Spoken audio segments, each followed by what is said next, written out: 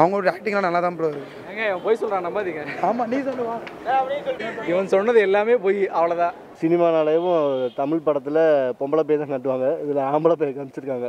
ரொம்ப பயம்படுத்துகிற மாதிரின்னு இல்லை. மேபி சின்ன பசங்களுக்கு பயமாக இருக்கும். மற்ற பேய் படங்களை காட்டிலும் இது வந்து டிஃப்ரெண்ட்டாக ஒரு ஸ்டோரி கொண்டு போகிறாங்க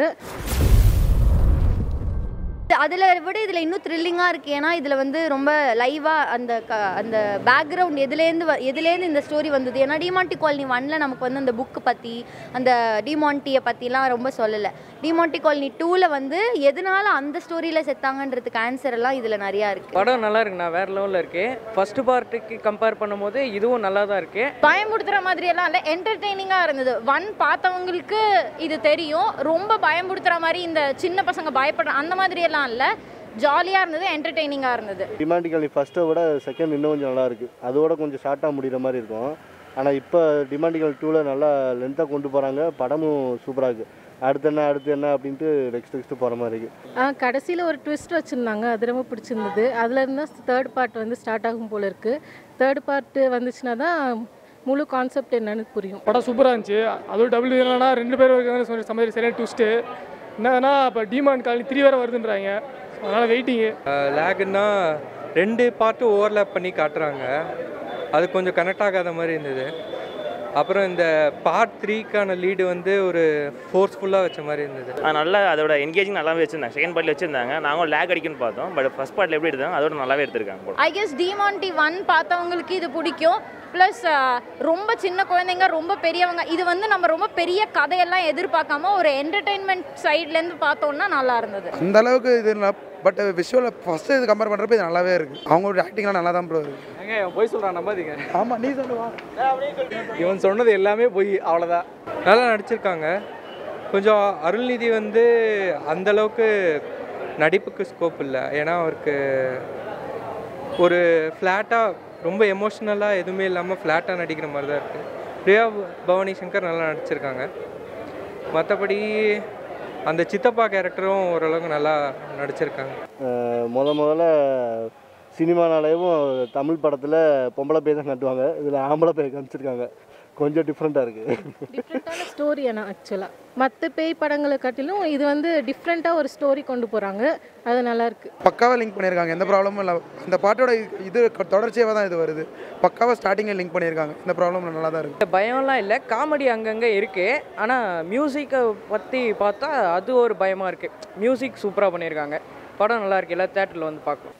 ஆமாம் ஆமாம் ஆமாம் ஆமாம் இது ரெண்டும் சேர்ந்து ஒரு மாதிரி எமோஷ்னலாகவும் இருந்துச்சு. நல்லா இருந்துச்சு. என்டர்டெய்னிங்காக இருந்துச்சு அவ்வளோதான் சூப்பராக இருந்துச்சுண்ணா.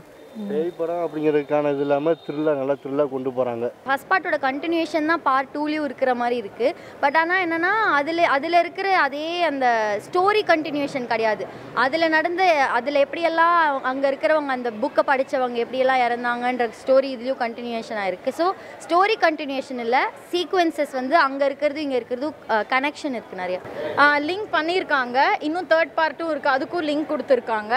ஸோ வெயிட்டிங் நான் ஒரு டூக்காக ரொம்ப வெயிட் பண்ணிருந்தேன் அதனால் பார்த்தாச்சு. ஃபஸ்ட்டு பார்த்தாச்சு ஃபுல்லாக பார்த்தாச்சு. செகண்ட் பார்ட் அதோட சூப்பராக இருக்குது தேர்ட் பார்ட் அதோட சூப்பராக சொல்லி எதிர்பார்க்கப்படுகிறது. பார்க்கலாம். இது பெட்டராக தான் ப்ரோ இருக்குது நல்லா விஷுவல் ட்ரீட்டாக தான் இருக்குது நல்லா சவுண்ட் எஃபெக்ட்ஸ்லாம் கொடுத்துருக்காங்க. நல்லாவே ப்ரெசென்ட் பண்ணியிருக்காங்க. அதெல்லாம் சூப்பராக இருந்துச்சு. ஊஃபெல்லாம் நல்லா இருந்துச்சு இங்கே நல்லா இருந்துச்சு.